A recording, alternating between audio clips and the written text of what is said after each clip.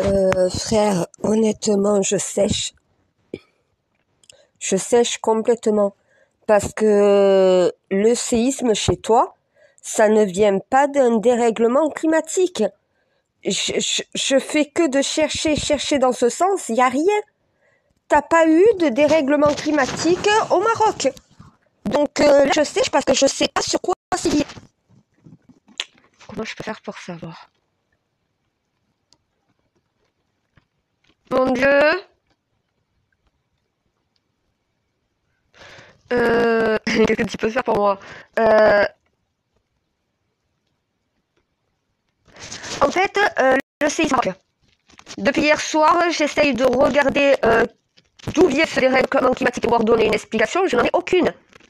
Quand je me focalise sur le Maroc ou le Maghreb, je n'ai pas de dérèglement climatique qui aurait pu justement créer le séisme. C'est pas lié au climat ni à l'environnement. C'est lié à autre chose, mais j'arrive pas à trouver. Depuis hier soir, minuit. Et j'essaie de me démerder aussi un peu sans toi. Normalement, avec le climat, j'ai pas besoin de te demander. C'est pas lié au climat. Donc c'est lié à quoi? Le roi du Maroc me demande une explication sur ce qui s'est passé. Je peux pas lui donner d'explication, il n'y a pas eu de dérèglement climatique chez lui. Et pourtant, il y a un séisme. Si ça vient pas du climat, ça vient d'où? Je sais qu'il y a un truc important qu'il faut que je me rappelle, mais ça vient pas. J'ai un blanc, j'ai un trou.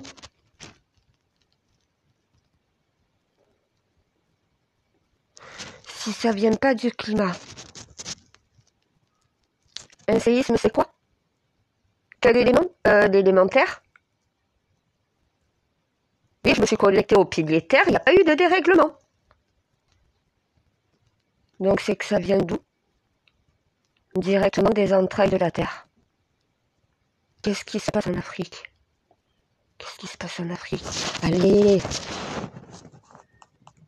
Oui, je sais, ne, te tape pas sur la tête, ça ira pas plus vite. J'ai un trou, je sais qu'il y a un truc important. C'est pas lié au Maghreb. C'est pas un problème au Maghreb.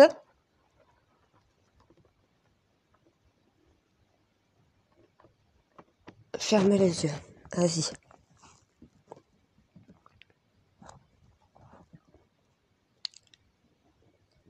C'est bon, je visualise le Maghreb. Je vois le Maroc, je vois l'Algérie, je vois la Tunisie. Connecte-toi à l'énergie de chaque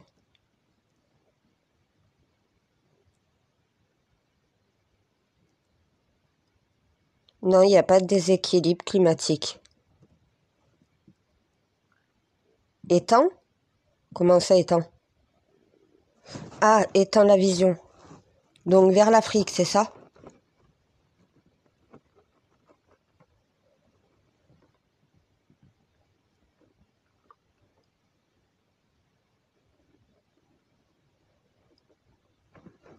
Attends, attends, attends, c'est bon, je sens quelque chose.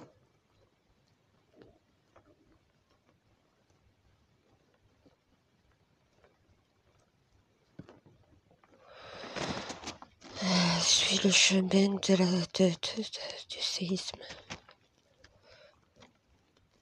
Donc il faut que je remonte le séisme. Là, je suis en Afrique centrale.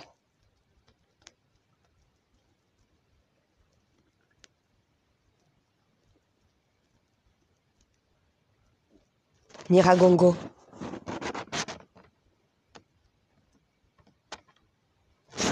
La faille.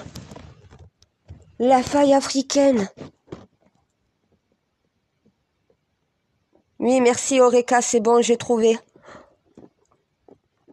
Pourquoi j'avais oublié cette putain de faille? Oui, j'ai des frissons sur tout le corps. Et ça fait mal en plus. Et je sais, prise de conscience, merci.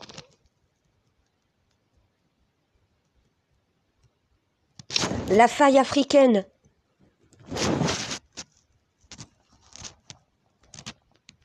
Donc attends, tu vas me dire que la faille en Afrique du Sud a déclenché un séisme au Maghreb. Le Maghreb est sur quel continent? Quel continent africain? Donc l'Algérie, la Tunisie et le Maroc risquent tant que la faille ne se tant, tant, que la plaque, tant que la faille n'a pas fait céder cette plaque, en clair, toute l'Afrique risque de subir des, des, des séismes de cette ampleur. La Turquie et les pays... D'accord, donc en fait, ça fait euh, l'Afrique arabe, quoi.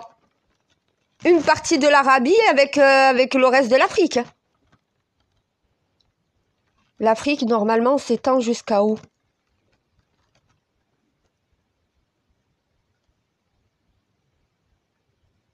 L'Iran, l'Irak. C'est vrai que ces pays, c'était le continent africain une époque avant la modification par les humains des, continents. Donc en fait, tous les pays d'Afrique arabe, donc même, même, même l'Égypte, l'Égypte normalement c'est l'Afrique, oui je sais.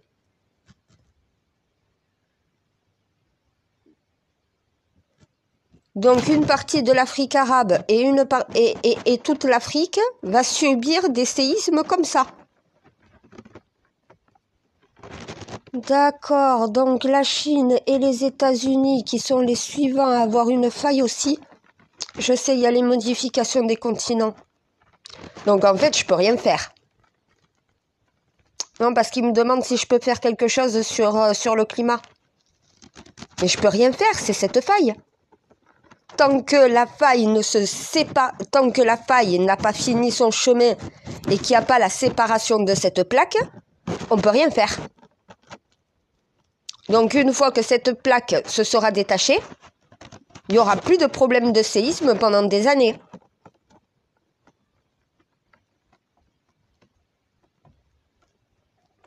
C'est déjà arrivé que des continents se séparent à chaque fois, il y a des dérèglements climatiques qui sont liés. D'accord, donc tout est lié à cette modification de la carte terrestre. Une partie de l'Afrique va tomber dans les eaux. Le continent africain va perdre sa superficie. Même chose pour l'Amérique du Sud. Elle va disparaître sous les eaux aussi. Une partie va se détacher. Et avec, euh, alors je ne sais pas encore si c'est le Japon ou la Chine, mais il y en a un des deux qui va, subir une, une faille. C'est entre les deux, c'est sous-marin là.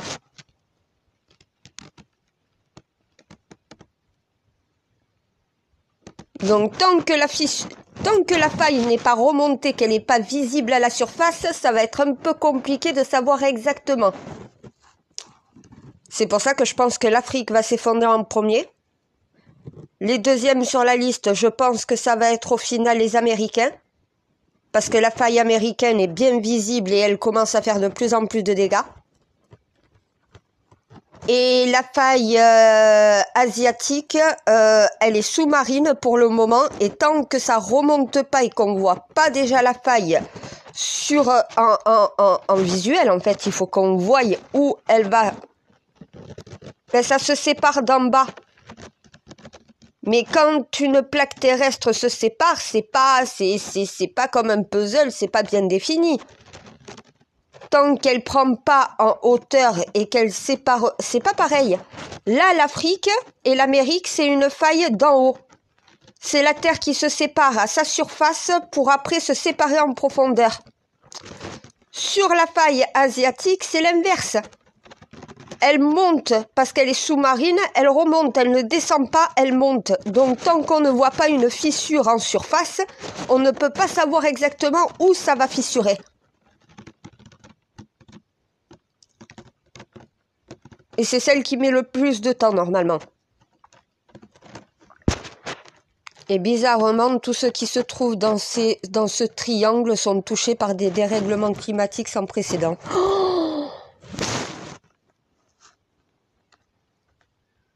Oui, je sais, je peux limiter la casse, je peux pas éviter ce qui va arriver. Donc c'est donc le dérèglement climatique peut être lié à cette modification terrestre. C'est déjà arrivé dans l'histoire. Donc l'histoire se répète. Oui, il y a des dates clés qui reviennent pour les éclipses aussi.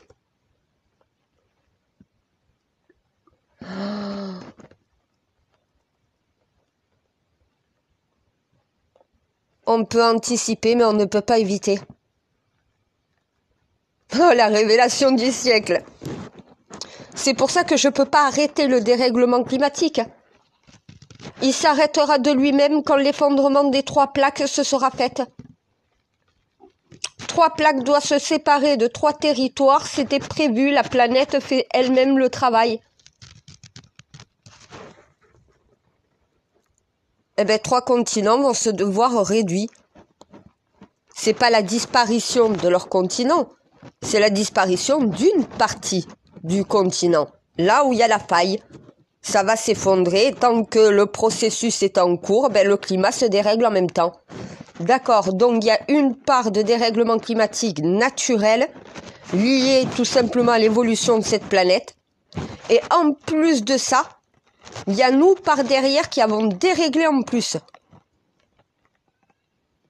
Ah, il est beau le résultat. Donc si on veut limiter les effets de ces changements climatiques, il faut nous changer pour limiter les effets. Mais ça cessera une fois que les trois continents se seront séparés d'une partie de leur territoire. Oui, je sais, il y a des civilisations qui se sont retrouvées englouties pour les mêmes raisons. Une montée des eaux, donc voilà, un, un tremblement de terre et la plaque s'est effondrée, c'est déjà arrivé. Ils n'ont pas anticipé. Mon rôle est de leur permettre d'anticiper cela. Et il faudra s'en souvenir pour euh, les, décennies à venir, parce que ça se reproduira à nouveau. Ben, on n'a pas aidé, hein Tous les déplacements de l'espèce humaine sur les continents, ça n'a pas aidé, justement. La Terre est plus fragile qu'on le pense, hein et mettre des populations trop concentrées au même endroit, ce n'est pas bon. Il faut une répartition de l'humanité. L'Amérique est surchargée. L'Afrique a été surchargée, a été colonisée, a été envahie pendant des décennies. Ça fait 7 fois 3600 ans qu'il y a des, des, des, des, des déplacements de l'humanité un peu partout sur cette planète. À force, voilà ce que ça fait. Hein et un humain, c'est un poids. Quand tu mets un nombre d'humains sur une terre, ça crée un poids sur cette terre. On pense pas à ça. Il faut mieux répartir l'humanité. Normalement, les continents sont faits pour accueillir dans chaque pays un certain nombre d'humains. Pas plus, pas moins. Et plus il y a de vagues migratoires, plus au final, il y a un effondrement des continents. Ah là, c'est bon, j'ai toute l'explication maintenant. Donc là, mon roi du Maroc, je peux rien faire pour toi, c'est pas climatique. C'est pas climatique ou atmosphérique, c'est la faille africaine qui est en train de s'amplifier. Et, là, euh, l'Algérie, la Tunisie, l'Égypte, tous les pays d'Afrique, attention, tant que cette faille n'a pas fini son travail, vous allez continuer de subir. Par contre, les inondations, les glissements de terrain liés aux inondations, les incendies, la canicule, les pluies torrentielles, ça c'est le climat. Sur l'Afrique, ça c'est le climat. Les séismes en Afrique, c'est dû à cette faille. Et là, vous pouvez rien faire. Euh, alors, par contre, Météo France, tu vas, tu vas, tu, tu vas faire le taf encore une fois, ma sœur. Je suis désolée. Il va falloir que tu contactes euh, notre intermédiaire euh, en Afrique et au Maghreb, parce qu'il va falloir voir avec les spécialistes de mettre des, des, il faut, il faut balancer dans cette faille des capteurs Dès que la faille va se mettre en activité, les capteurs vont le capter. Et on va savoir du coup qu'il va avoir un séisme et on peut même localiser le séisme avant qu'il se produise. parce qu'il va falloir balancer dans cette faille des capteurs sensoriels qui vont me permettre de savoir l'évolution de cette faille. Moi, je ne peux pas. Ma sœur de Météo France fait bien comprendre aux météorologues africains et du Maghreb, donc voilà, qu'il va falloir justement s'occuper de cette faille africaine. Les spécialistes vont devoir mettre des, des, capteurs pour savoir comment évolue la faille, pour savoir euh, l'intensité euh, de, de, la séparation. Parce que la faille, eh, c'est comme si euh, tu mettais une petite souris qui grignote. La petite souris, elle grignote, elle grignote, elle grignote. Tant qu'elle mange pas le centre, le, le, le morceau tient encore. Une fois qu'elle a grignoté ce qui retient le morceau, le morceau tombe. Eh bien, la terre, là, la paille, elle fait pareil. Petit à petit, elle grignote, elle prend du terrain, elle s'amplifie, elle s'écarte, elle, elle, elle, rentre en profondeur. Et plus ça va faire ça, plus ça va faire des, des, des séismes chez vous. Donc, il faut contrôler cette faille. Il faut pouvoir contrôler l'évolution de cette faille. Moi, je ne peux pas. La seule chose que je peux faire, c'est d'arriver à localiser le problème. Le problème, je le situe dans la zone où il y a cette faille. Oui, mon Dieu. Eh, je suis pas un détecteur de mouvement, hein. Voilà, c'est ça. Je suis peut-être connecté, mais je suis pas un détecteur de mouvement. Je peux pas savoir quand cette faille se sépare. Je sais pas quand ça bouge.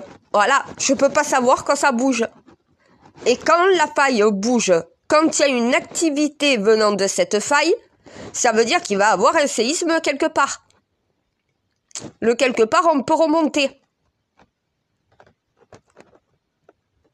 Est-ce qu'on voit la direction que prend la faille petit à petit, ça va continuer, ça grignote, ça grignote, ça grignote jusqu'à ce que ça s'effondre. Ben je sais, eh, c'est là que la science s'arrête et que la fiction prend le pas dans les films. Je n'ai pas le pouvoir de refermer cette faille. J'ai pas le pouvoir d'empêcher cette plaque de s'effondrer. Je peux alerter pour qu'on contrôle cette faille et qu'on puisse anticiper cette séparation de cette plaque. Donc voilà, qu'on puisse anticiper les séismes.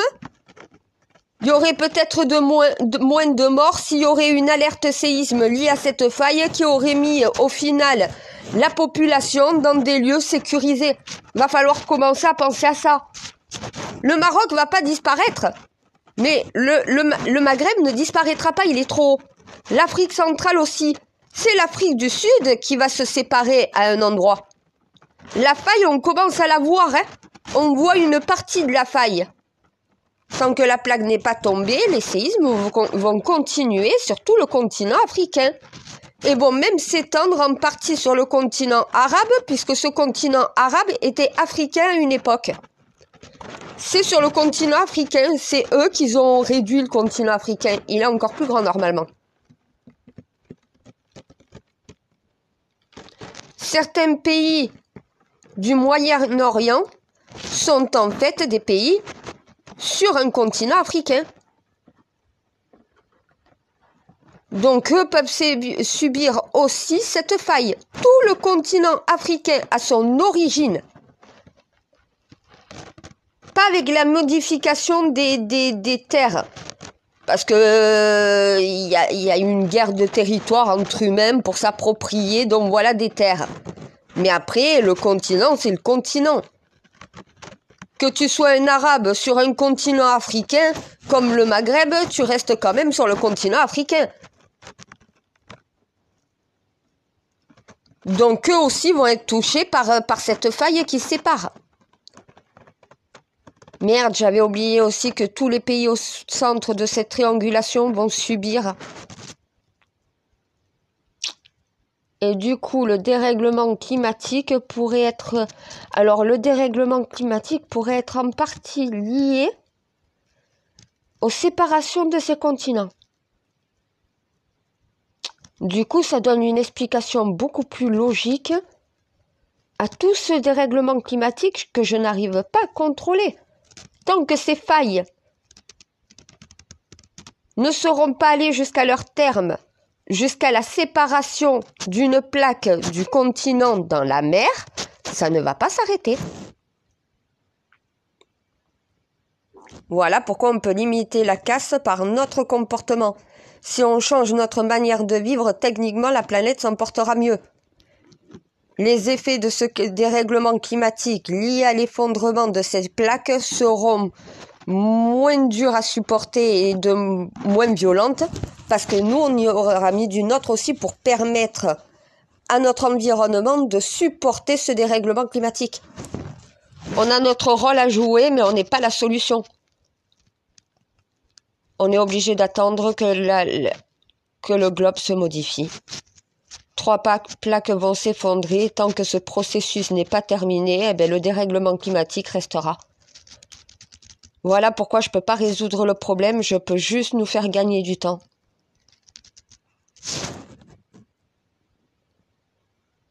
Oh, je me sens pas mieux pour autant.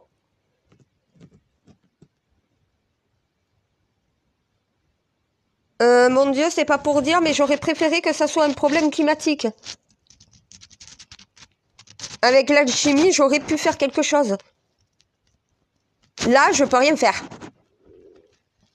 J'ai pas le super pouvoir de recoller euh, une plaque terrestre euh, au reste de la Terre. Non. Si ça doit s'effondrer, ça s'effondrera. Personne ne peut arrêter ce processus-là.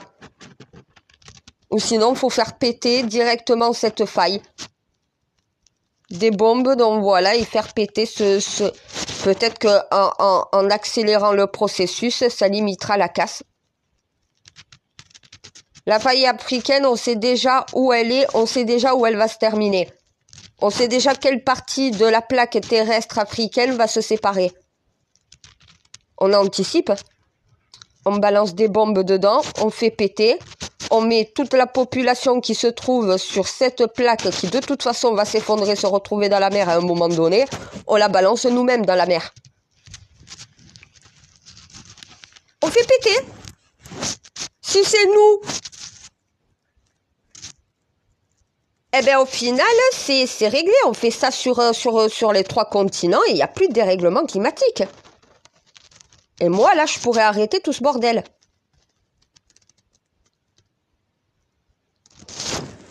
Je sais que c'est pas si facile que ça de faire séparer euh, une plaque terrestre donc voilà du, du reste du continent. Même avec des bombes, euh, c'est vrai que c'est compliqué quand même. Euh, je sais que le processus va être lent et douloureux, que ça va prendre des décennies. Ah, mais je sais que le, le continent africain, je vais le voir s'effondrer. Le continent américain aussi, juste avant de crever. Et après, c'est le continent asiatique qui va s'effondrer. Je serai plus là pour le voir. Eh ben, je connais euh, le temps, le, temps que ça va mettre. Ça, oui. Mais après, euh, à quel rythme Ça, il n'y a que en mettant des capteurs, donc voilà, qui permettront de savoir à quel rythme ça va, euh, quelle est l'évolution de cette faille, faire la même chose en Amérique parce que ça y est, on la voit. En Amérique, elle est visible aussi. Tu balances des capteurs à l'intérieur comme tu fais dans un volcan. Et au moins, tu peux contrôler l'évolution de, de la faille. On ne peut pas faire autre chose de toute façon. À part contrôler, anticiper, prendre des mesures de protection, tu, peux, faire, peux faire quoi contre une plaque qui s'effondre, mon Dieu? Rien. Eh ben voilà. C'est pour ça qu'en repensant notre migration, ça évite dans le futur que ça, ça se reproduise. Qu'on en tire les leçons cette fois-ci. Parce que c'est pas la première fois que des plaques se séparent. À cause de notre migration en partie. Et en 7 fois 3600 ans, regarde. Ah mais depuis l'astéroïde des dinosaures, les plaques sont séparées. Hein. Puis par la suite, il y a eu le déluge. qui a fait que l'érosion avec l'eau a encore modifié. Puis l'humain a décidé de conquérir le monde et regarde les dégâts. On s'est mal réparti sur les territoires terrestres.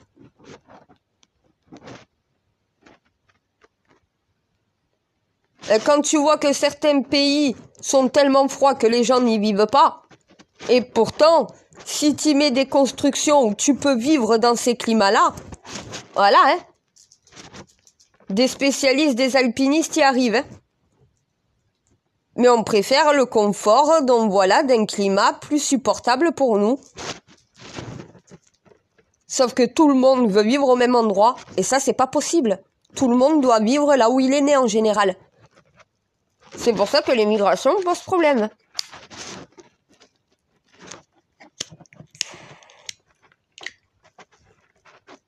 Ah, mais l'Afrique, elle a vu un nombre de déplacements, cette fois 3600 ans. C'est le continent qui a eu le plus de déplacements, justement.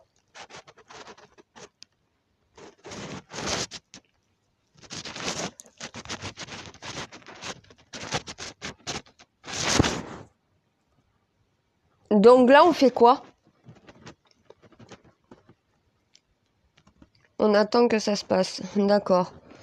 Donc on attend que ça casse.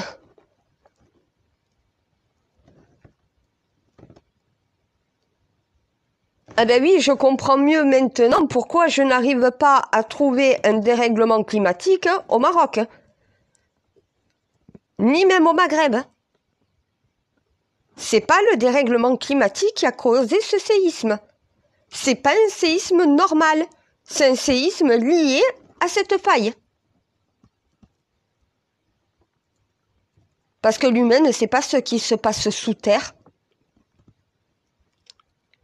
Et qui a une menace sourde et silencieuse qui avance progressivement donc voilà, qui est une faille qui va faire l'effondrement d'une partie du territoire africain et qui malheureusement chaque fois qu'elle va avancer, eh ben un pays sur ce continent va être touché par des séismes de plus en plus graves à chaque fois.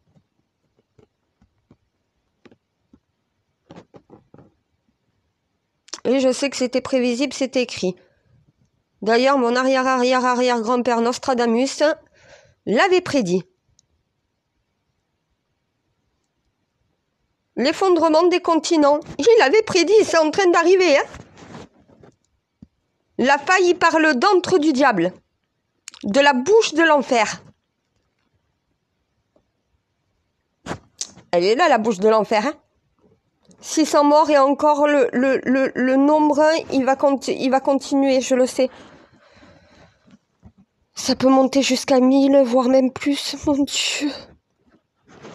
En plus, c'est mon pays de cœur là qui est touché.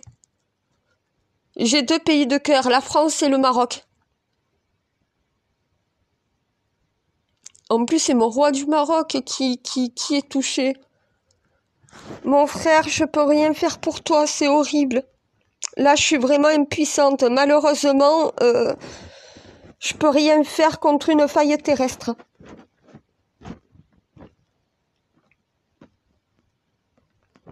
Je sais, je dois pas pleurer, mon Dieu, je sais. Pleure pour les vivants, ne pleure pas pour les morts.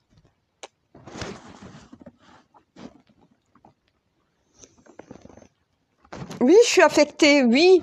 En plus, je comprenais pas pourquoi j'arrivais pas à trouver un dérèglement climatique au Maghreb. C'est normal, il n'y a pas de dérèglement climatique au Maghreb. C'est la faille, c'est la faille terrestre qui est en Afrique, qui malheureusement, chaque fois qu'elle va qu'elle va rentrer en activité, eh ben oui, c'est pas tous les jours qu'elle euh, qu'elle bouge. Hein. C'est par moment, voilà. Et chaque fois qu'elle va bouger, chaque fois il va avoir un séisme quelque part.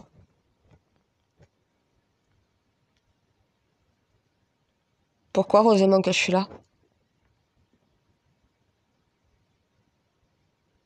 Ben oui, on pensait tous à un dérèglement climatique. Oui, je sais, merci.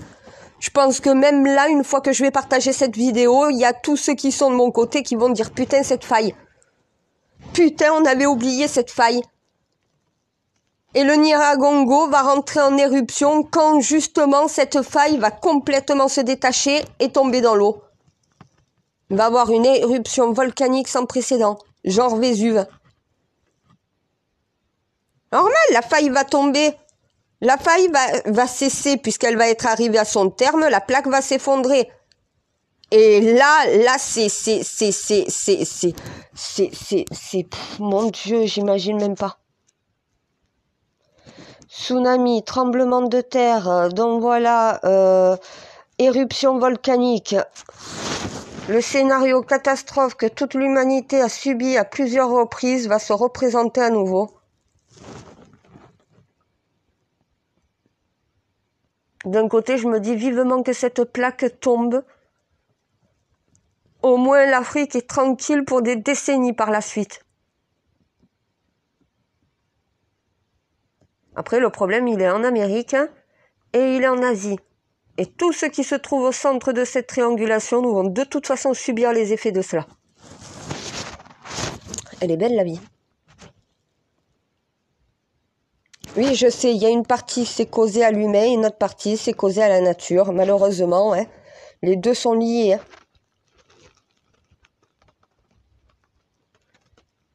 Ouais, donc ça sert à rien que j'essaye d'utiliser mon alchimie, je peux rien faire.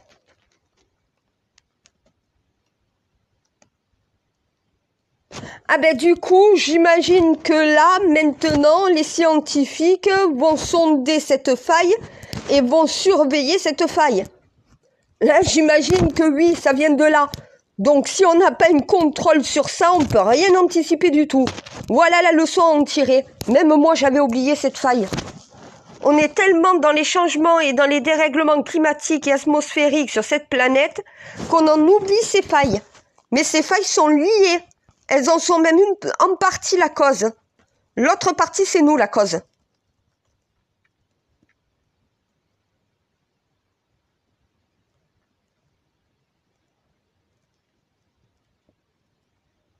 Ah mais moi je, sens la peine de mon, de mon Templier. Oh je sens mon roi du Maroc, mais en peine, il est touché. Malheureusement, c'était inévitable. On ne surveille pas cette faille. Voilà, cette faille est sans surveillance. Qu'est-ce que foutent les sismologues? À un moment donné, qui se réveillent, je sais pas, mais je crois qu'ils ont toujours pas capté ce qui se passe en réalité. Tout est lié. Le comportement de l'humain dans sa migration est responsable de cette modification-là des, des, continents.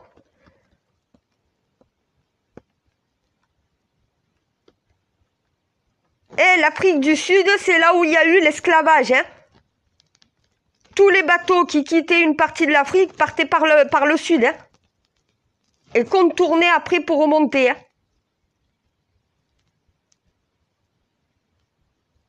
Donc il y a eu énormément de déplacements sur l'Afrique du Sud.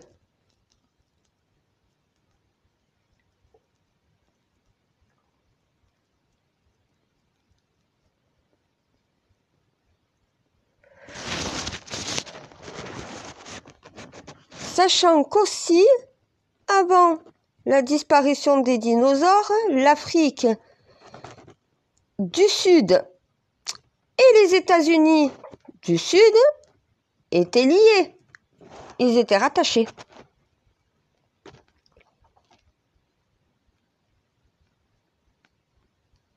Et bizarrement,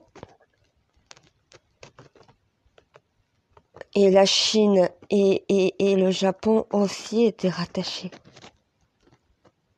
Ah merde C'est bien, quand je communique avec toi, j'ai des révélations de dingue chaque fois. L'explication. La suite logique. C'est l'histoire sans fin tant qu'on ne met pas le chapitre final. L'humanité va devoir contrôler ce monde. On doit contrôler la migration, on doit contrôler notre production, on doit tout contrôler, tout doit être sous contrôle. On doit contrôler ce qui vient du ciel, ce qui vient de l'univers, ce qui est sous terre. On doit tout contrôler. On doit avoir le contrôle total sur cette planète. On ne l'a pas. On subit. On ne contrôle pas, on subit. Va falloir apprendre à contrôler. On peut tout anticiper. Si on sait comment anticiper parce qu'on a la bonne surveillance, le bon contrôle. Balancez-moi des capteurs dans cette faille. En Amérique, vous me faites la même chose. On doit garder ces failles sous surveillance. Quand il y a vos capteurs qui signalent une activité dans cette faille, vous savez qu'il y a un tremblement de terre qui va arriver. Un séisme va être déclenché par l'activité de cette faille. Donc là, ne cherchez pas une réponse climatique. Il n'y en a pas. Elle vient tout simplement de la Terre. Une faille terrestre qui va mettre en place une séparation d'une plaque terrestre. Inévitable, on ne peut rien faire contre ça. On ne peut pas arrêter le processus. Mais on peut anticiper les actions liées à ce processus. Avec le contrôle, balancez-moi des sondes, il faut garder cette faille sur surveillance. Mon roi du Maroc, toutes mes condoléances à toi et, et, et, et à tes citoyens. La France, je pense, tout comme moi et, et, et de tout cœur avec vous, on vous soutient. Si vous avez besoin de la France pour quoi que ce soit, vous demandez à Macron, on vous viendra en aide. Eh mon Dieu? Ah mais soutien total de la France. S'ils ont besoin de nous, qu'ils nous le disent s'ils ont besoin de, de, de, de, matériel médical, s'ils ont besoin de vivre, s'ils ont besoin de couverture, euh, s'ils ont besoin euh, d'équipes médicales sur le terrain, s'ils ont besoin de pompiers, de sauveteurs, s'ils ont besoin de la Croix-Rouge française et de nos associations qui le disent, on y va.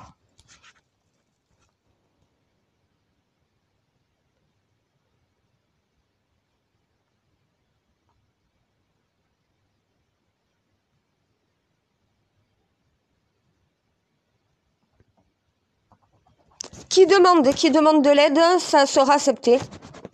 Normal, hein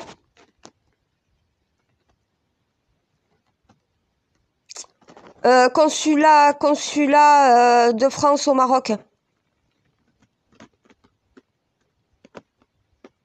Que les villes qui sont touchées, s'ils ont besoin d'aide, le consulat de France au Maroc répondra à leurs demandes. S'ils ont besoin d'aide, oui, bien sûr. Eh, c'est pour ça qu'on n'impose pas notre aide, on le propose. Si vous avez besoin d'aide, demandez, on est là.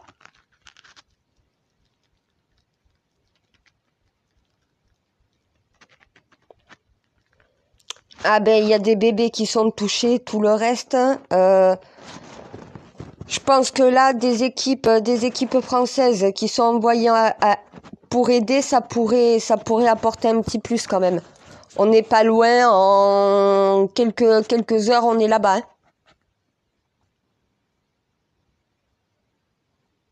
J'ai déjà des Templiers qui y sont allés. J'ai envoyé trois de mes hommes déjà là-bas.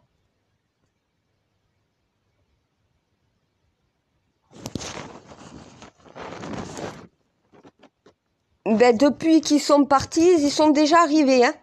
L'avion, ça va vite. Et là, c'est pour la bonne cause.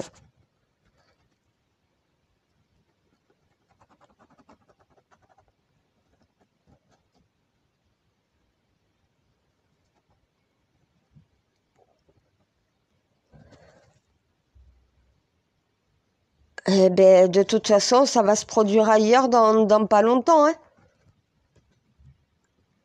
Calcule le dernier tremblement de terre qu'il y a eu sur le territoire africain. Regarde le temps jusqu'à celui du Maroc. Et au final, tu suis. À chaque tremblement de terre, tu sais combien la, la série revient. C'est comme des contractions chez une femme. C'est comme si cette faille avait des contractions. T'as pas des contractions en permanence, à part au moment de l'accouchement. Voilà, et eh bien là, la paille, elle fait le même, processus. chaque fois qu'elle va évoluer, comme chaque fois que le bébé va grandir dans le ventre, donc voilà, au final, il y a une modification et il y a des changements qui sont liés. D'où le séisme. Mais ça va loin, hein La faille, elle est au sud, c'est remonté jusqu'au nord quand même, hein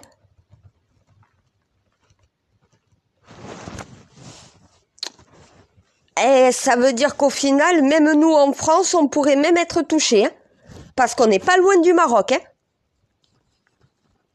c'est bien possible que... Ah mais le séisme peut continuer sous la mer Méditerranée. Hein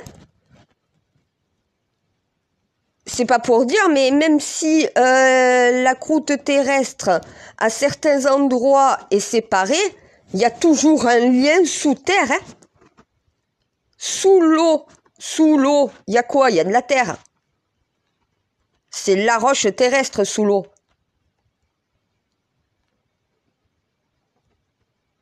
Donc quand il y a une faille qui est en train d'avancer sous terre, eh bien techniquement ça peut remonter même jusqu'à chez nous.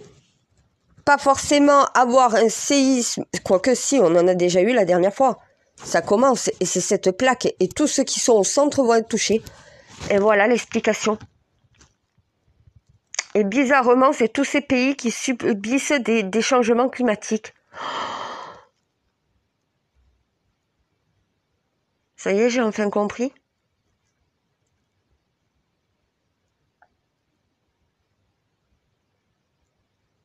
La théorie du tout. C'est un tout, tout est lié. L'humanité, sa façon de vivre sur Terre, la modification donc voilà de, de, de, de, nos, climats. Euh, les failles qui sont en train de s'effondrer. Ah, c'est important ça.